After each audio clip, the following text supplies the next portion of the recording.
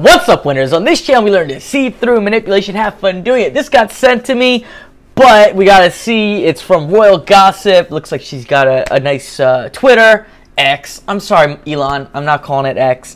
It's silly.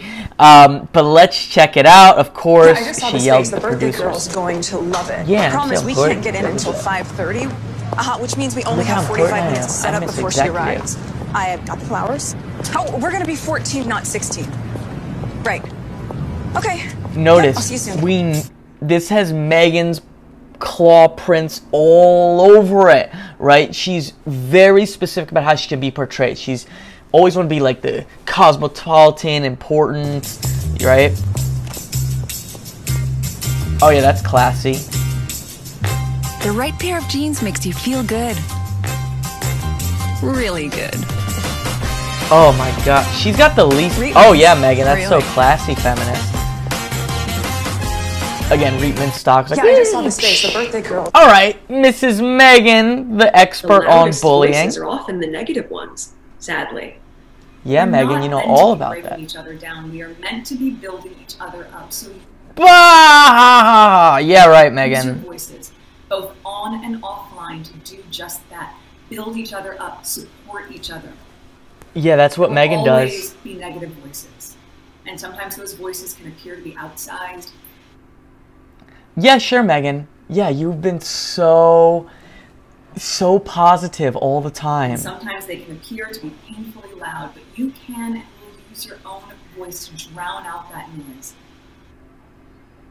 Nonsense. Because that's what it is.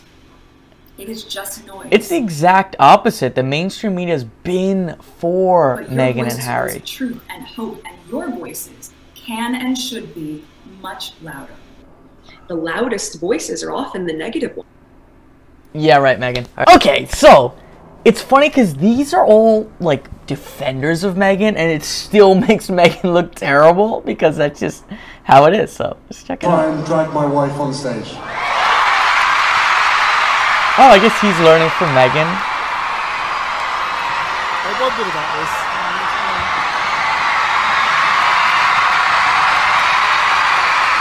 Look at her grasps. What is she doing?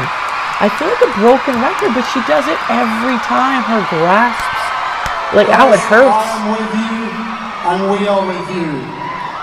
You can see how speech deteriorated into the mumbles. Okay, Meghan being weird with her weird freaking dress. Whatever. Uh, this other woman looks in shock. Meghan's very fake laugh. And then she's like, oh, time for the picture. How high do you think the heels are that Meghan's wearing? Like six inches? Hey, nothing wrong with being short. I'm not very tall, but you don't need to wear these weird towering heels like Meghan does. That just makes it weird. Oh yeah. Okay, this got sent to me, but actually the last two are from Harry's Gray Suit. They have some very funny uh, stuff. Again, this woman lost her job so fast, I bet. Look, look, notice how it's like something's hot, how she has to pull her hand away because she knows she's done. Look, look, look, look. Ah, ah. Because Me- she knows how Meghan is. Meghan just glances over. She's like, oh, I'm going to lose my job. Okay. This is the echo chamber. They have a very good point. Yacht girl. Some of these Twitters, you guys have some funny names. you're out there engaging with your friends online, just be conscious of what you're doing and understand that it is not Yeah, limited Meghan. to that one moment that you are creating an echo chamber for yourself. What? Meghan's the queen of the echo chamber. And what is she talking about? It's not just limited to that one moment. They're so preachy. But again, I these are the worst kinds of bully. I was watching like the Vince McMahon documentaries, total jerk, t- horrible guy. And he like destroyed all his competition, did all these nasty things. And when he had competition towards him, he complained and things. That's the worst kind of bully. They bully more that you and then engage with things that they say anyone who pushes back's a bully. Other people that you might not know, but what it's doing to you as a human being. told you, you told them you were, you, you, I told them I was union, and then they had to Taft Hartley me, which really is just like them sending one piece of paperwork to the union, but it makes you. you're the Mike Ross of. I was such a acting. fraud. Uh, I was such a fraud.